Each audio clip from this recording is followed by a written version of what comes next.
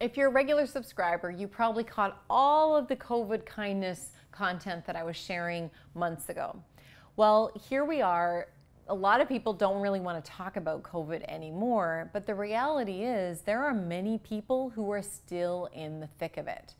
In fact, one of the concerning pieces of feedback that I received after a recent release was the response of a doctor and a nurse having had a conversation. Sure, we love all of the clanging of cups at 8:30 at night and seeing people's signs on their front lawn and on and uh, even just this this uh, last month there's whole line of Canada Post delivery trucks were going down the road right beside our hospital waving flags and honking their horn. And it was all to express appreciation as a fellow essential services organization for the people working in the hospital. Beautiful, wonderful grand gestures. In fact, it's, I've never been prouder as a recognition expert than I am right now.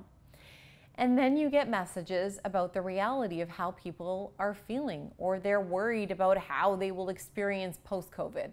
So, the feedback that I received was from a loyal reader. She's an occupational health and safety professional. And while she was waiting to get her food from the cafeteria, a doctor and a nurse in front of her were speaking and, and shared, you know, it's great hearing all of these things now, but do you think that they're just going to go back to not appreciating us later?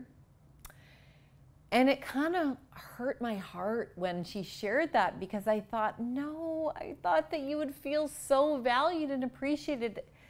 And then when I reflected on having worked in hospitals for 15 years, I thought, yeah, this happens in cycles all the time. I can only imagine how firefighters and police officers feel every anniversary of 9 11. Everybody's super grateful for them at that time. And then the rest of the year comes along, and do they still feel the same amount of recognition and appreciation? So here's my challenge to all of you. Who are the people that you know? You, they're your neighbors, they're your family members, they're your friends, they're maybe even your peers that you want to make sure feels appreciated and valued on the other side of our pandemic will you please put a reminder in your calendar or in your journal, whatever way in which you use to keep track of your life, please put a reminder in there to directly and explicitly express your gratitude that you feel in this moment.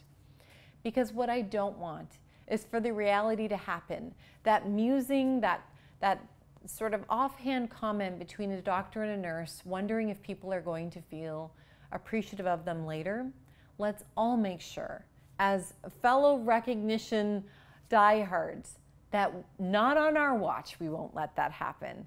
We will do our part to keep our appreciation legacy going. And let us not let any essential services worker question for a second how grateful we were to them during this challenging time.